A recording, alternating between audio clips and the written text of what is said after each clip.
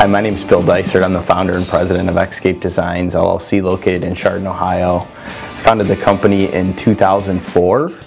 uh, after realizing there was a need for a customer-focused and employee-focused organization, um, specifically focused on values and culture.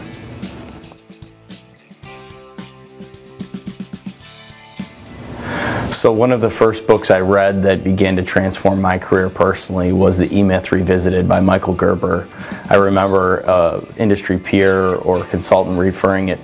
referring that story to me at one point in time and remembering taking a vacation to read the book.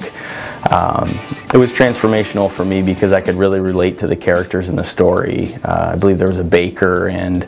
and an industry uh, person that were really considered more technicians in their in their craft and um, how their business began to transform and grow and how they needed to start to think differently um, and changing their mindset from a technician to a manager and then eventually to the entrepreneur and leader of the business.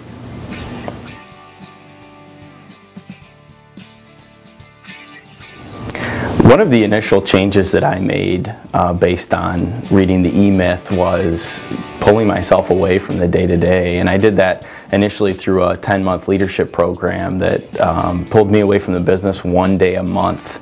which doesn't sound like much but at that time it was pretty uncomfortable um, so that change and that discomfort actually allowed us to grow because as I pulled away other people were, were able to step up and take more ownership and leadership within the company.